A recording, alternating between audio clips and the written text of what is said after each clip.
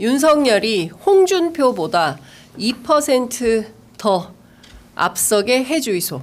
오늘 아침 보도된 뉴스토마토 단독 기사 제목입니다. 아, 여러분들 어, 깜짝 놀라셨죠? 저도 깜짝 놀랐습니다. 아, 이 녹음 파일이 공개되기까지 상당히 고심하면서 취재해온 기자가 있습니다. 아, 뉴스토마토 박현광 기자 스튜디오에 모셨습니다. 어서 오십시오. 네, 안녕하십니까 예. 박형광입니다. 오늘도 눈이 충혈되어 있는 우리 박형광 기자를 여러분 어, 응원을 많이 해주셔야 될 것 같습니다. 진짜 기사 한 줄이 세상을 바꾸고 있는 것입니다. 자, 그런데 이 내용이 너무나 충격적이기 때문에 오늘 이제 갈 길이 바빠서 바로 본론으로 좀 들어가야 될 것 같 은데요. 일단 이 충격적인 녹음 파일 먼저 어, 명태균 씨의 음성 파일 먼저 어, 들으면서 저희가 시작을 하겠습니다. 예, 여, 여보세요? 연령별하고 지역별하고 다 그 마차고 여성하고 네. 그 마차가고 곱하기 그 한 해갖고 한 2천 개 만들 있어. 이거 가지고요? 예. 그차 아프지 뭐. 어, 알겠습니다. 예, 그게 안 나요? 네. 돈 얼마 들어갔어요? 어, 40만 원 정도 예, 들어왔습니다. 그럼 됐어요. 알겠습니다. 예. 네. 그 보고서 바로 해요. 아침 바로요? 예. 알겠습니다. 예, 보고서 해갖고 내일 네. 그 주부 차 앞으로. 알겠습니다. 예. 여보세요? 여보세요? 네. 이거 그 다른 쪽에 이 나가는 거니까 네. 윤석열이를 네. 좀 올- 올려갖고 예. 홍준표보다 한 2% 앞서게 해주있어. 알겠습니다. 그 젊은 아들 있다 아닙니까? 네네네네. 누군가만에 그 결수 올려갖고 네네. 예, 2, 3% 홍보다 더 나오게 해야 됩니다. 알겠습니다. 외부 유출하는 거니까. 네. 여러분 어떻게 들으셨습니까? 저는 아침에 이 어, 녹음 파일을 듣고 그야말로 충격이었습니다. 여러분들도 아마 비슷한 감정이실 것 같은데요. 아 처음에 이 녹음 파일 들으셨을 때 우리 박효관 기자 첫 일감이 좀 어떠셨어요? 아 이- 이렇게 조작된 여론조사 결과로 네. 저희가 누군가를 선택했구나라는 음. 생각을 좀 했고, 네. 그러니까 이게 사실 비공표 조사긴 했는데 음, 사실 대선 기간에는 이런 비공표 조사 같은 게 다 지라시 형태로 많이 돌거든요. 그렇죠. 그 여론에 영향을 미칠 수밖에 없는 맞습니다. 거고, 어, 좀 걱정, 좀 무서웠습니다 사실. 어. 네, 이게 딱 처음 봤을 때 어, 이거는 어, 굉장히 크게 이슈가 될 수 있겠다. 음. 예, 그래서 오히려 이 기사를 써야 되는 저 입장에서는 굉장히 무섭다라는 음. 생각을 좀 했습니다. 걱정 마세요. 시민들이 함께 지켜줄 것입니다. 거- 두려움 없이 계속 쓰십시오. 알겠습니다. 예, 진실을 밝히는 게 우리 네. 기자들의 사명이고 네. 어, 뭐 운명 아니겠습니까? 뭐 거침없이 가시면 되는데 제가 오늘은 팩트에 에, 집중해서 하나하나 여쭤보도록 하겠습니다. 어, 2021년 9월 29일 오후 3시 33분에 명태균 씨와 강혜경 씨가 통화를 한 겁니다.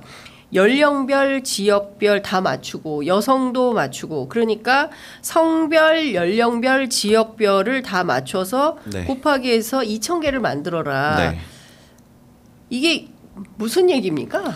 네? 그 뒤에 바로 이어지는 게 강혜경 씨가 이거 가지고요? 네. 라고 물어봐요. 예. 그리고 뒤에 명태균 씨가 바로 예 음. 치워버리지 뭐 음. 그러니까 치아불지 이렇게 네, 예, 경상도 예. 말로 예. 그게 안 낫냐고 예. 그게 더 편하지 않냐 뭐 이런 예. 뜻이에요. 그러니까 이게 무슨 말이냐면 네.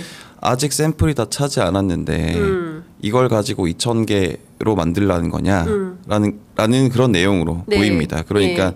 여론조사 2천 개 2천 명 대상으로 했다라고 했지만 실제로는 2천 명 대상으로 하지 않은 거죠. 그렇죠. 예, 그런 정황을 보이는 거죠.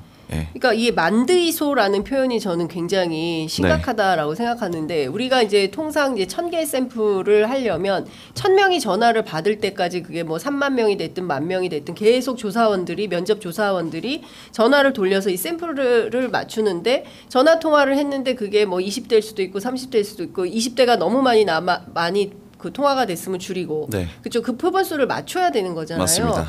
그럴 때까지 계속 하는 건데 이거는 샘플이 안 찼는데 그걸 가지고 어떻게 하라는 거예요? 그래서 가중치를 주라는 거죠. 가중치를 줘서 예. 만들어라. 네. 인위적으로 만들려고 하는 겁니다.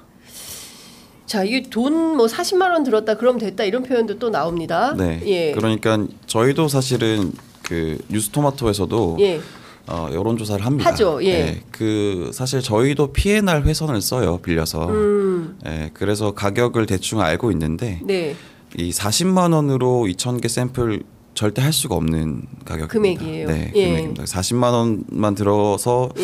2천 개를 만들었다라는 거는 예. 그래서 저희가 아 하다가 중단했구나. 아, 라고 당연히 추측할 수 있는 정황이라고 판단했습니다. 2,000개 샘플을 하려면 통상에는 한 얼마가 들어요, 그러면? 어 적어도 최소한 250만 원 예. 네, 정도 든다고 알고 있습니다. 그러니까 이게 회선을 연결하고 하는데 쓰는 아주 그 최소 단위의 최소 단위, 범위가 예. 250만 원이 드는데 40만 원이 들었고 네. 그러니까 사실은 2,000개 샘플이 다 어, 확보가 안 된 상태에서 상태로. 가중치를 둬서 그냥 만들어라. 맞습니다. 이렇게 이제 얘기를 했다는 겁니다. 어, 그리고 2021년 9월 29일 오후 4시 50분에 또 통화를 하는데 그 다음 바로 통하죠. 네. 바로 이어진 통화네요. 네. 어, 3시 33분에 통화하고 바로 그 뒤에 뭐 1시간 반 20분 정도 있다가 다시 통화를 하는데 어, 이거는 그 실명이 나왔는데 텍스트에는 네. 네. 이름 얘기해도 되죠. 네, 괜찮을 것 같습니다. 명태균 그러니까 아까 녹음 파일에는 실명이 없었어요. 근데 이게 그 텍스트에는 실명이 나와 있는데 명태균 씨가 이렇게 말합니다. 이거 그 다른 쪽에 하태경이가 나가는 거니까 어 이렇게 내해요. 윤석열이를 좀 올려갖고 홍준표보다 한 2% 앞서게 해 주이소. 네. 자 이렇게 하면 강혜경 씨가 알겠습니다 해요. 네. 그러면 이렇게 강혜경 씨는 만든 거예요? 2% 앞서게? 맞습니다. 그 이제 미래한국 연구소에서 9월 29일 날 네. 낸그 여론조사 결과 보고서가 있어요. 예. 그 결과 보고서를 보면은 3.9% 윤석열 음. 후보가 홍준표 후보를 앞섭니다. 예, 그래서 2, 3% 정도 앞서게 해달라라고 요구를 하는 건데 거기에 부합하는 거죠. 그러니까 이 방법을 놓고 보면은 뒤에 이제 계속 말씀하시겠지만 네. 그 젊은 애들 있다 아닙니까? 네. 예, 응답하는 개수 올려갖고 예. 2, 3% 홍이 예. 홍보다 윤이 더 나오게 해야 됩니다. 이렇게 얘기하거든요. 그러니까 음. 요 부분에 대해서 강희경 씨는 이 젊은 애들, 음. 그러니까 젊은 애들의 표본을 인위적으로 늘렸다, 조작이 맞다라고 얘기를 합니다. 어 젊은 젊은 애들 그러니까 이를테면은 2030 청년 세대들이 맞습니다. 응답률이 낮으니까 네. 그거를 이제 표집이 다 안 되니까 그거를 조금 개수를 올려서 네. 조절을 해라. 맞습니다. 이게 여론조사상 이거는 이렇게 하면 불법 아닌가요? 불법이죠. 누가 봐도. 야, 이게 지금 하나하나 하나하나 여쭤볼게요. 일단 이거 그 다른 쪽에 하태경이가 나가는 거니 이건 무슨 얘기입니까? 하태경 의원이 네. 여기서 왜 나오죠? 저희가 이제 사실 기사에는 자세히 담지 않았고 네. 어, 기사의 큰 핵심에는 좀 어긋나는 부분이긴 한데 네. 이 하태경 전 의원과 예. 명태균 씨도 좀 인연이 있었던 걸로 보입니다. 아. 예, 그리고 다른 어떤 저희가 확보하고 있는 증거 자료들로 봐도 네. 명태균 씨가 하태경 의원을 좀 도와주려고 한 것 같다. 아. 예, 그 정도 말할 수 있을 것 같습니다. 네. 네. 그러니까 이거는 하태경 의원이 무슨 그 선거를 준비하고 있었던 모양인 거죠. 당시에 대선 경선 후보였습니다. 아 경선 후보. 네, 예, 그때 그러니까- 같이 이제 윤석열, 홍준표, 하태경 같이 경선 후보였던 아, 거죠. 그렇구나. 네. 그러면 이때 당시 경선 후보인데 하태경 쪽에 이 내용을 보여줘야 돼서 이거를 네. 만들 필요가 있어서 네. 이 내용을 그 강혜경 씨가 어, 조사 보고서를 만들어서 이거는 하태경 쪽으로 나간 거다 이런 설명이 가능한 건가요 그러면? 뭐 그렇게 볼 수 있는 거죠. 추정할 수 예. 있습니다.